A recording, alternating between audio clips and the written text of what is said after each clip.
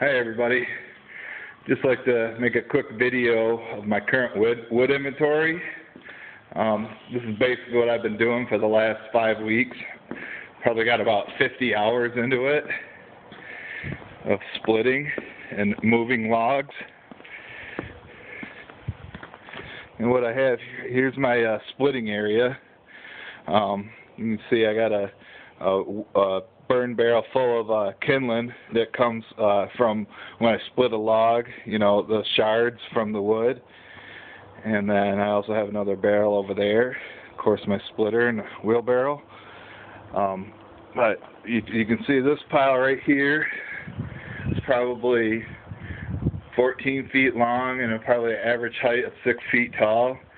Probably at least, I would say, two cords there um, this pile right here is my scrap pile wood. It's basically the ugly pieces that I wouldn't sell to my customers.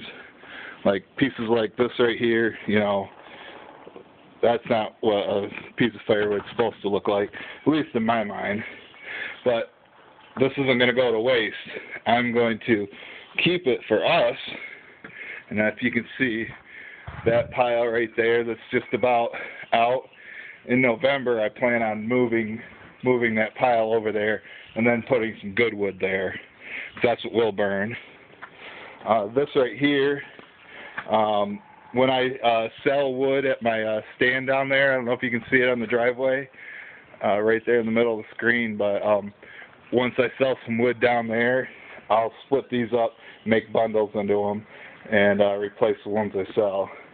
Those logs right there were just cut too short anything under a foot long is no good that I or that I won't sell, but I'll probably end up splitting that and keeping it for us. Now back here, oh, and you can see too, this is uh, in an overhang, so the wood stays dry. Uh, and the same way, same way back here, you know, big, nice area to store all this wood and there's quite a bit of it. These are the this is the last um, pile right there that I just filled up over the last week or so. Um, and then I got another pile right here of of wood, and it goes all the way back. It's probably about nine feet long, maybe uh, close to five foot tall. This is about six foot tall, about 15 feet long. So, and that's all that wood is is uh, good, high quality red oak, white oak, maple, and cherry, and with a little bit of hickory in there too. And same with that pile right there. As you can see, that is going to last a long time. I, I would guess that all of this, this is what I'm going to start selling first when I get orders. And this and that should easily last through the summer with uh, my fire pit customers. And this right here is my uh, seasoning log rack. These are the logs I got from the Enzion job.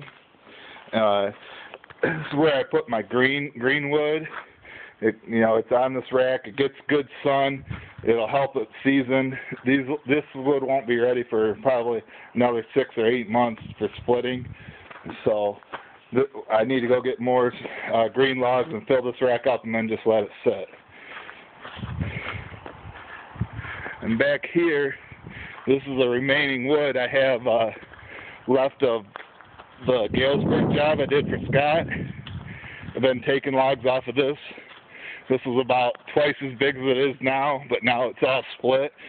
So I don't like to have wood sitting out on the ground, even though it has a tarp over it, because it can rot.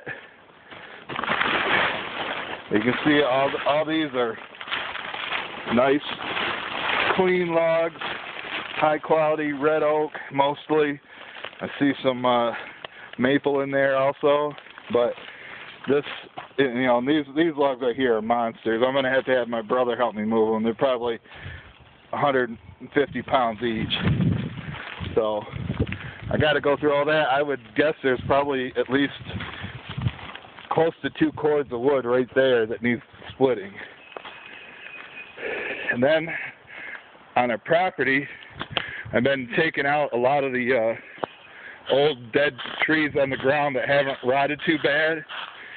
Um, that makes great campfire wood. That log right there, uh, I got it on two logs, and it just needs to be cut to length with my chainsaw. These are too rotted.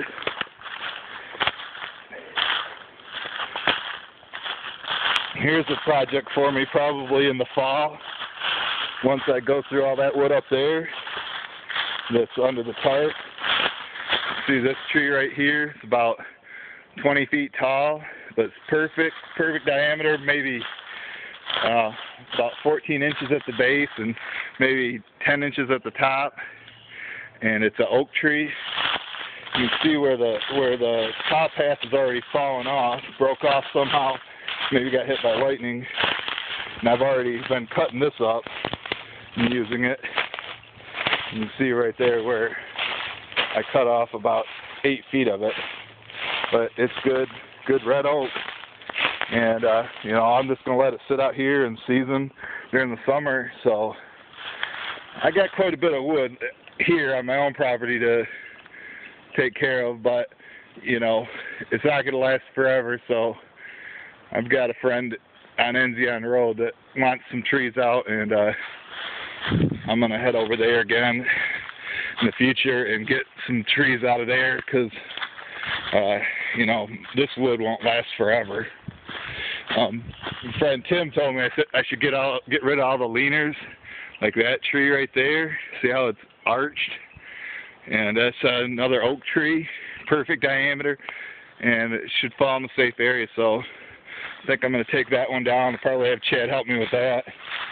And this leaner right here, see the angle of it? Know, tree should be straight up and down, but that one's arched off to the right there. So another tree. And then I'll go through here and get whatever dead ones on the ground that haven't rotted and uh, the dead ones standing. So got quite a bit of wood to last me for several years just uh, need some orders. So make sure you get all your wood from Joe's Premium Firewood. And uh, like us on Facebook. We'll talk to you later.